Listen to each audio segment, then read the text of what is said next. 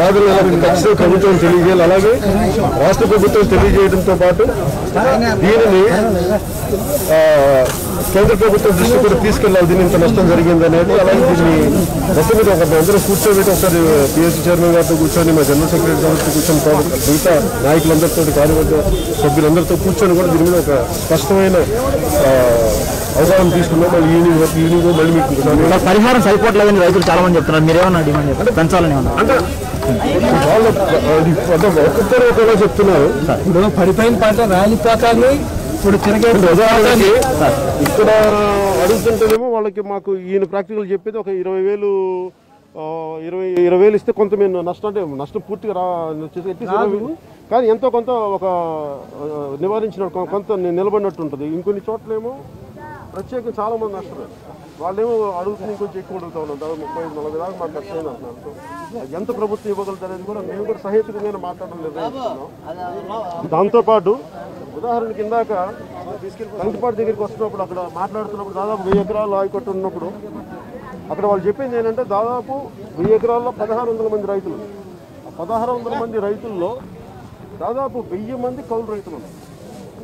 అసలు కౌలు రైతులను పట్టించుకునే పరిస్థితి లేదు. మేము ఇంకా చాలా ఇబ్బందిగా ఉన్నాం. అంటే సో వీటన్నిటి ముఖ్యంగా కూడా మామూలు భూమి ఉన్న సొంతం ఉన్న రైతులతో పాటు కౌలు రైతులు కూడా చాలా ఇబ్బందులు ఉన్నారు.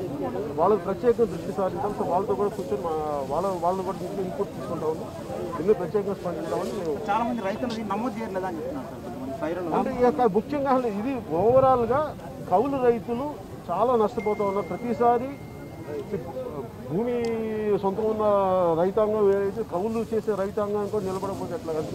ప్రత్యేకమైన చట్టం చూడండి ఇది కూడా రాలిపోయింది చూడండి. అట్లా రాలిపోతుందండి తిరగేసేటప్పుడు. దీని మీద ప్రత్యేకంగా దాన్ని- పెట్టాలి కౌలు రైతుల గురించి కూడా మేము దాని సార్ గారు దాన్ని ఇది గుర్తిస్తే ఇట్లా రాలిపోతుంది. తెలియజేస్తాం తెలియజేస్తాం. ఒకసారి మీతో మాట్లాడాం కదా మాట్లాడితే మాకు కూడా అవగాహన ఉంటుంది? చూడండి భవిష్యత్తులో ఉండే వాళ్ళు కూడా ఎంత సావధానంగా ఉంటున్నారు వాళ్ళకు నిజంగా మనస్ఫూర్తిగా మీ అందరికీ ధన్యవాదాలు. మీ అందరికీ ఇంత మనస్ఫూర్తిగా నిజంగా నిజంగా మనస్ఫూర్తిగా నేను మన ఈ హుదూ తుఫాన్ అప్పుడు నేను శ్రీకాకుళం వెళ్తే అక్కడ అడిగింది మీలాంటి అబ్బాయి ఒక అబ్బాయి అడిగాడు అన్న మాకు కావాల్సింది సమయం కష్టం వచ్చినప్పుడు ఏదో పాతి కేజీలు బియ్యం కాదన్నా మాకు పాతి సంవత్సరాలు భవిష్యత్తు కావాలి.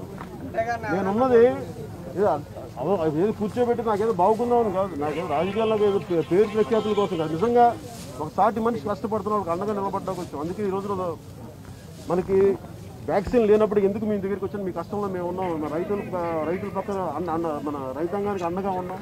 అలాగే భావితరాల భవ మీ భవిష్యత్తుకి మేము ఎంతో కొంత మాదిరిని కృషి చేయాలి. దాంట్లో భాగం మీకు ఏదో ఒక రెండు వేల ఐదు వేలు ఉండబట్టి ఇప్పుడు మాలాంటి వాళ్ళకి ఇది అర్థం వాళ్ళకి అర్థమవుతుంది.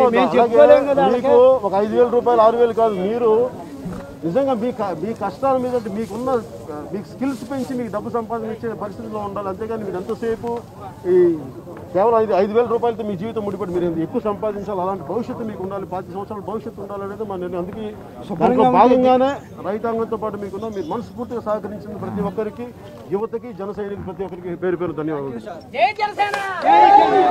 ఏంటండి? వీడియో నచ్చిందా? అయితే ఓ లైక్ వేసుకోండి. లేదంటే ఓ కామెంట్ చేయండి. ఎప్పటికప్పుడు మా వీడియోస్ చూడాలంటే సబ్స్క్రైబ్ చేసుకోండి.